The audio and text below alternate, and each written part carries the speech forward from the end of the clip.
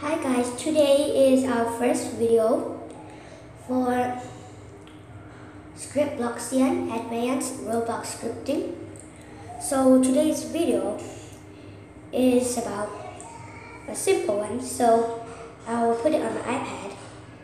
And so the title is How to Make a Game on Your iPad, such as Apple, Android, and oh, I think it's only that. Okay, so let's get started. Okay, so you go into Google Chrome.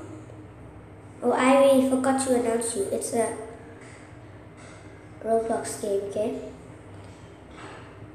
And so you can click um, over, oops, over this one, the three dots on the upper left over here.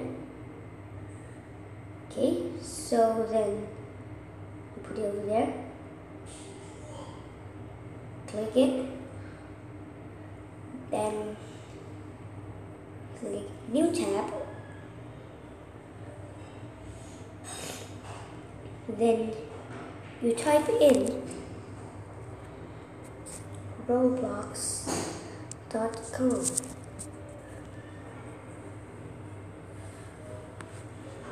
Then when it's done, click Continue in Browser.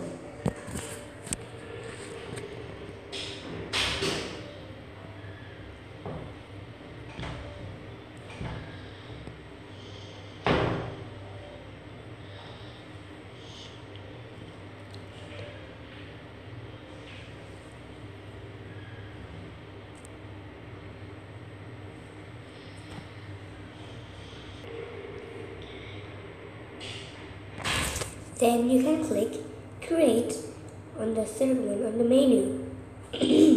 Sorry.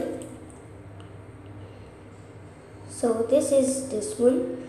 So you click again the three dots and click website desktop version or browse desktop version.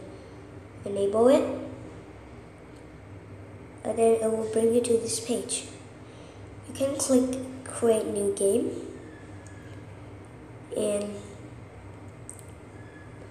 you see many templates. If you want a completed game, you can fill as village, castle, western. That's half completed. Suburban city. Starting place is the first place. If you didn't know how to look at it, okay, so that's all. And then Infinite Runner. And then if you want a game of completed, uh, uh, uh a completed game, you can choose on Racing, Line Runner, Obby, Infinite Runner, Capture the Flag, Team FFA Arena, Combat, Coin Destroyed, and Galactic Speedway. So like I'll click City and you scroll down until you click create game.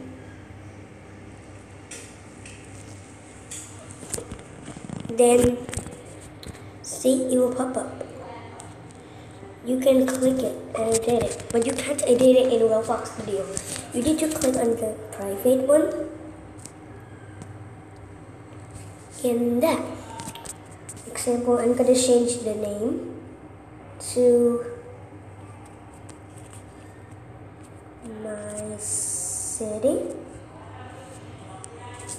And I'll make it private again. So I'm a developer so I'm not to re release exaggerated games or not good games. Okay so see? My city. So that's all Mm, so that's all to this video and don't forget to watch our other videos.